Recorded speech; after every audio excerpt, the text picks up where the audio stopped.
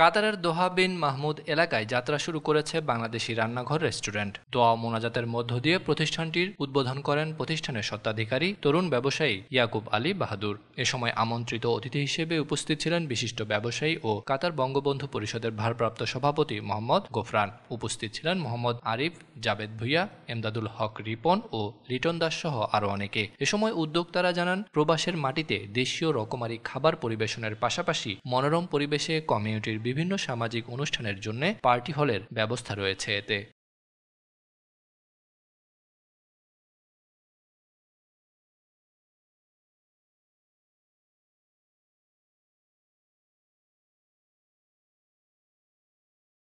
দেশীয় স্বাদ নিয়ে আমাদের রান্নাঘরের আয়োজন। এই রান্নাঘরে আপনারা দেশীয় সব ধরনের আইটেমগুলো পাবেন।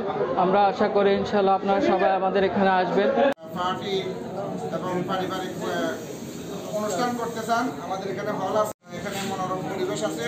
দোয়ার বিন মাহমুদে রান্নাঘর নামে বাংলাদেশি রেস্টুরেন্ট চালু করা হয়েছে। বিদেশের মাটিতে দেশীয় স্বাদ পাওয়ার জন্য আমাদের এই রান্নাঘর রেস্টুরেন্ট। বিরিয়ানি আছে মাটন কারি আছে চিকেন কারি আছে বিফ কারি আছে বিফ চুকা আছে চিকেন চুকা আছে।